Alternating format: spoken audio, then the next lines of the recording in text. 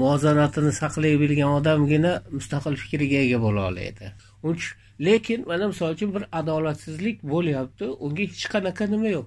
Faqat shu odamlarni gap so'zidan qo'rqibgina munosabat bildirmaslik nimani anglatadi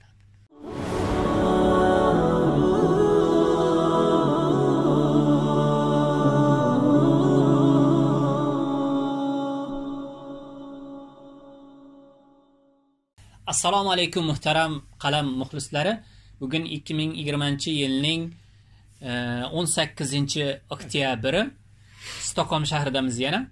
Eh, siz azizlar bilan hayot saboqlarini navbatdagi uchinchi ko'rsatuvini eh, taqdim etish arafasidamiz bugun yana mehmonimiz muqimjon aka domla bo'ladilar. Suhbatimizga xush kelibsiz muqimjon aka. Rahmat. Rahmat. Taklif qilganingiz uchun rahmat. O'tgan safargi e, siz ko'ruvchilarga yoritgan hayot sabog'i e, oxiriga kelib muvozanat e, va mustaqil fikrda bo'lishlik va mukammallikni faqat jannatda bo'lishligi kabi nuqtalarga kelgandi va bugunga bularni saqlab qo'yib o'sha yerda suhbatni tugatgandik. Mana shu hayot sabog'i uchinchi hayot sabog'i to'g'risida e, gapirib bersangiz marhamat ha o'tgan safar e, shunaqa deb aytuvdim muvozanatini saqlay bilgan odamgina mustaqil fikriga ega bo'la oladi yoki o'sha mustaqil fikrini ifodalay oladi gapira oladi deb aytgandi e, o'sha muvozanat nimani nazarda tutyapsiz deb savol beruvdingiz e, adashmasam shunda men e, shu maqtovlardan kerilib ketmagan kerilib ketmaslik yoki e, o'sha tanqidlardan bir yo'l tushkunlikka tushib ketmaslik. Shuni shuni muvozanatini saqlay bilgan odam endi albatta bu muvozanatni to'la saqlay bilish haqiqatda u dunyoda bo'ladi. Endi u odam buni to'la yuz foiz saqlolmaydi. Bu iloji yo'q narsa. Inson borki hali u yoqqa hali bu yoqqa e, nima bo'lib ketadi? Shu bu dunyoda endi kurashib yashaymiz xolosda endi hmm. mukammallik u dunyoda bo'ladi endi bu aniq. O'sha mustaqillikni bir hayot mustaqil bo'lishlik muhimligi sizni nazaringizda sizni hayotingiz davomida e, chiqargan bir saboqlaringizdan darslardan birida ya'ni mustaqil bo'lishlik muhim demoqchisiz. Ha menga shunga o'xshaydi. Menga shunaqaga o'xshaydi o'sha agar qilinganda nimaga erishiladi? Mustaqil bo'linsa o'sha tanqid bilan maqtovga ham e'tibor bermasdan imkon boricha o'z mustaqilligiga erishish va o'sha asosda hayot yashashlik va musulmon bo'lishlik musulmon dinimizni tushunishlik va anglatishlik. Bu ya'ni nima yutuq beradiki uni hayot sabog'i sifatida alohida ko'rsatishga hmm. e, ya'ni e, siz e, ya'ni bir fikr bildirdingiz. Buni bir so'z bilan aytganda to'g'ri yashash deb atash mumkin. Meni nazarimda. Hmm. ya'ni ya'ni haqiqiy to'g'ri baxtli bo'lib yashash deb atash mumkin. Mana eng kichkina misoldan boshlaylik. Eng kichkina misol mustaqil fikri bo'lmagan odam oila deylik oila tuzildi deylik va shu oila buzildi deylik tuzilishi mayli. Ho'p endi bir yo'lni qilib tuzibdi buzilishida menimcha to'qson foiz omil to'qson foizdan ko'proq omil tashqarini ta'siri bo'ladi. Ikkita yosh bir biri bilan buzilib ketishi qiyin. Shu tashqari unga ta'sir ko'rsatadi. Masalan ayol kishiga erni mana bunday ushlashing kerak va bundoq qilishing kerak va bunaqa bo'lishi kerak deydi. Yoki bo'lmasam erni e xotinni ushlashni bilmabsan uni quli bo'lib qolibsan falon bo'lib qolibsan ha u kennayni gapidan chiqmaydigan bo'lib qolibsiz va hokazo bu narsalar oilaga ta'sir qilishi mumkin. Qachon qachoniki o'zini mustaqil fikri bo'lmasin. O'zini mustaqil fikri bo'lgan odam u bahosini beradi. O'sha ayol kishi bo'lsa eriga o'zini bahosini beradi tamom o'shani ushlab ketaveradi. Yo erkak kishi bo'lsa ayoliga o'zini o'sha bahosini beradi. Tamom ushlab odam atrofdan ta'sirlanib o'tirmaydi. Ya'ni o'zini yo'lida ketaveradi. Uni hech qachon hech narsa bir tarafga burib yubormaydi. Mana bu oiladagi bitta misol. Jamiyatdagi misol. Masalan hozirgi holatda bizda bo'layotgan narsalarni olaylik.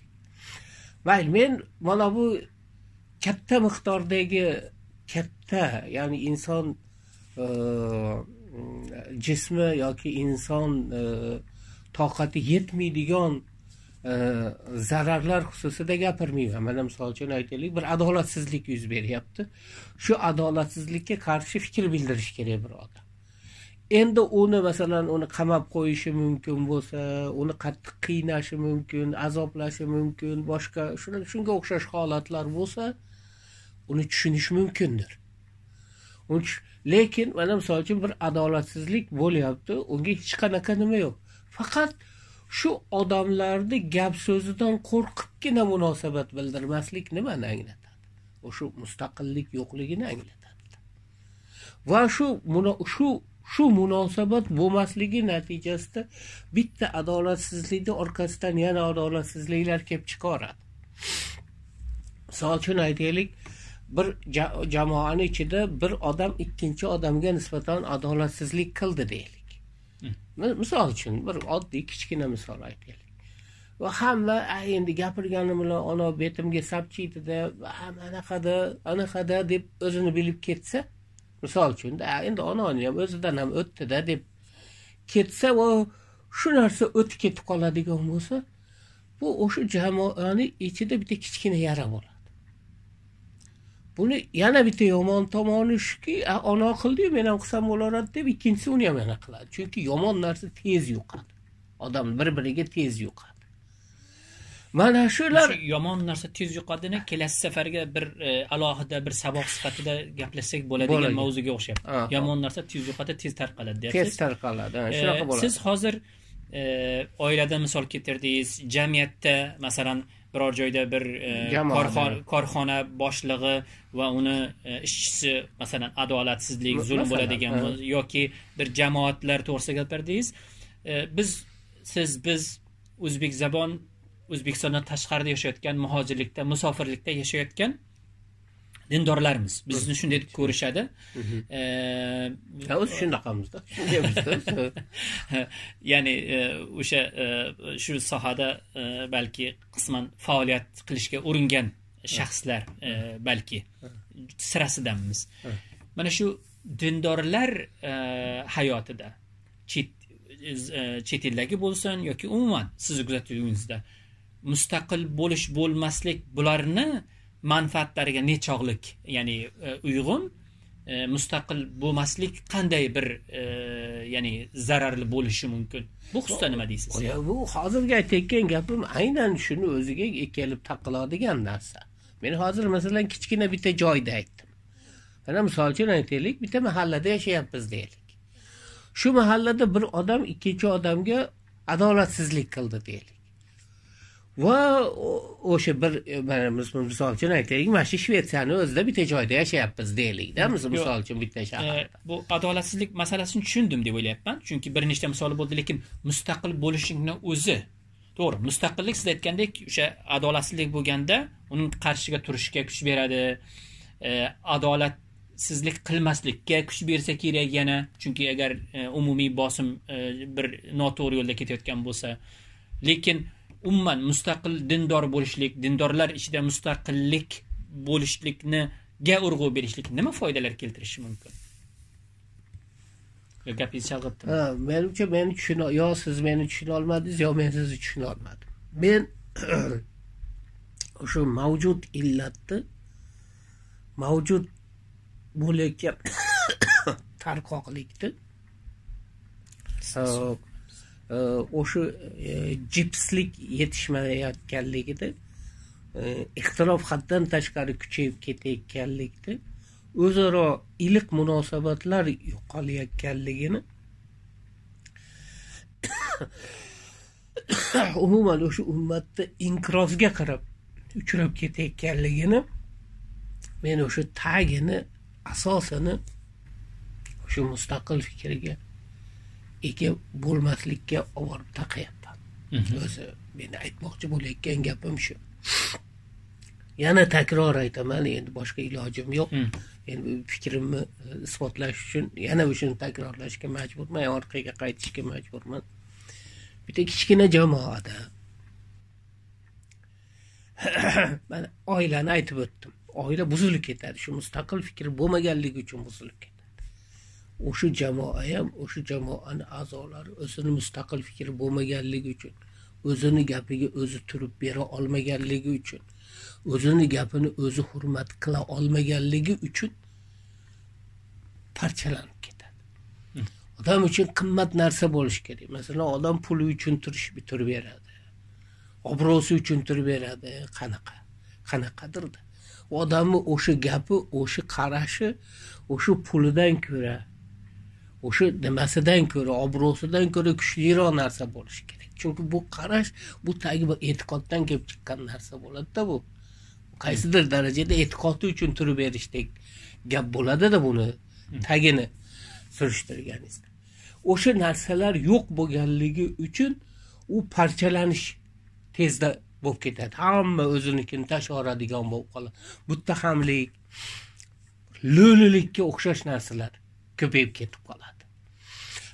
Adolat qattiq ushlanadigan joyda u, u- u odam o'zinikini o'tkazolmaydi lo'li o'zinikini o'tkazolmaydi chunki u yerda fakt rol o'ynaydida u yerda hujjat rol o'ynaydida. Tush- tush- tushuntira oladimi yo tushuntira olmadimmi endi katta miqyosda ham xuddi shunaqa narsa.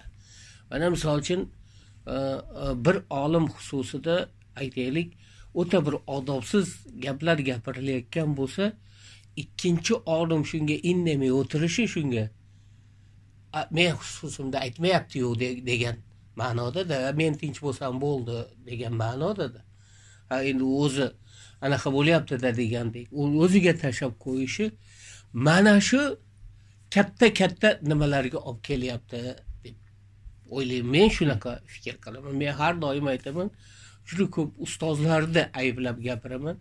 Sizlar bamisoli ota onasizlar sizlar bir biringlar bilan inoq bo'lsanglar ummat maza qilib yashaydi. Xuddi haligi ota onasi inoq bo'layotgan farzandlari yashayotgan. Sizlar bir biringlarga bilan inoq bo'lmasanglar bilaks bir biringlar haqinglarda yomon gapda gapiradigan bo'lsanglar ummat qiynaladi. Xuddi otasi onasi haqida onasi otasi haqida yomon gaplarni eshitayotgan farzandlarga o'xshab qoladi deb ko'p gapiraman. Mana shunday nimalarni gapiraman. Mana shularni tagi ham meni nazarimda ana shu ustozlarni o'zida ham muvozanatni yo'qligi ana shu ularda ham qaysidir darajada yo maqtovga berilib ketib qolish yo tanqiddan qo'rqib ketish. Mustaqillikka bog'layapsizda ya'ni mustaqil bo'lmaslik Ha, shunday bosim ostida e, ya'ni e, o'sha to'g'ri yondashuvda bo'lishga majburlaydi ya'ni o'sha o'zini gapiga turib bera olmaydida odam o'sha o'zini bitta nimasini ushlab turib berish kerak. Mana misol uchun ichingizda bilib turibsiz shu bola shu odamni nohaq yomonlashyapti. Lekin siz indamaysizda lekin siz indamaysizda siz indamaysiz u indamaydi u indamaydi yomonlaganlar olagancha yomonlayveradi ertasi kuni ular keyin keyin sizni yomonlay boshlashadi keyin ular tabiiy el qatori ular ham indamay turadi shu bilan u o'sha o'rtadagi bir lo'li xalq bundaychasiga aytganda haligi olomon e, bu e, qirg'izlarni nimasiga o'xshab qoladi qirg'izlar deganda ya'ni bu bir ramziy e, majoziy ma'noda aytyapsiz endi anavi e, hukumat almashaveryaptiyu ha qirg'izistondagi vaziyatlarga Vaziyat- e, vaziyat. ishora qildim demasa ya'ni biz e, xuddi o'zbek birodarlarimiz qanchalik yaqin bo'lsa qirg'iz birodarlarimiz albatta e, u millat ma'nosida aytmayapman Ha. men bo'layotgan voqealar ma'nosida demak E, bugungi suhbatimiz e, xulosasi mustaqillik mustaqil bo'lishlik tanqiddan sinmasdan maqtovdan kerilib ketmasdan oyoq yuzidan yerdan uzilmasdan muvozanatni saqlab mustaqil bo'lishlik hayotni turli jabhalarida mm, ko'plab foydalarga olib keladi. Va qilmaslik aksincha ko'plab e, istalmagan e, oqibatlarga olib keladi. O'sha men yana bitta narsani aytib qo'ymoqchiman. O'sha maqtovdan kerilib ketib qolish qanchalik zarar bo'lsa tanqiddan sinish ham ana zarar. Hamma narsa tanqiddan qo'rqishdan kelib chiqadi. Mana siz ham yaqinda o'zingiz aytdingiz bitta maqola yozdim ey bunaqa gap so'z devora yuborasharmikin deb uni maqolani bermadim. Man bunaqa narsalar juda ko'pda har bir e manaqa bo'lyaptiyu gapirmaysizlarmi? desangiz ha endi kim ham quloq solardi keyin u anaqa bo'lib ketib qoladida manaqa bo'lib ketib qoladida degan gaplarni ko'p eshitaman shunga o'xshash odam tabiiy bo'lsa bitta gapni aytay men sizga. Endi buni bersangiz berasiz bermasangiz bermassiz.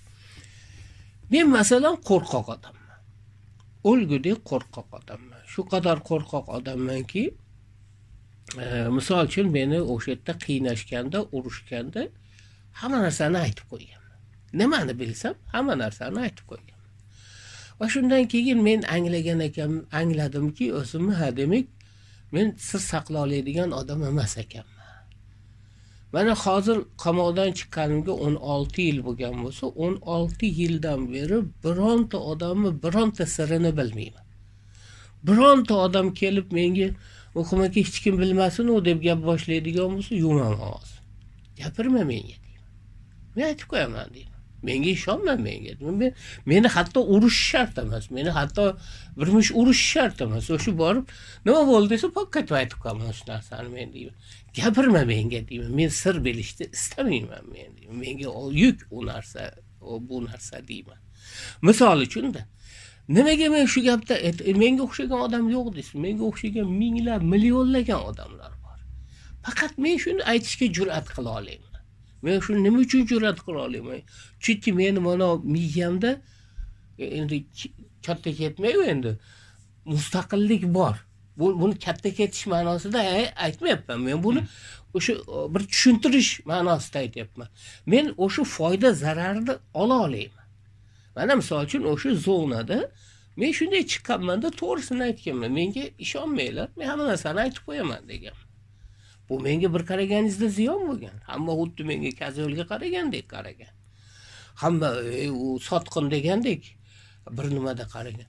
Lekin men sotqin emasman. Uni men o'zim ichimda bilamanku sotqin emasligimni tushuntira hmm, olyapman hmm.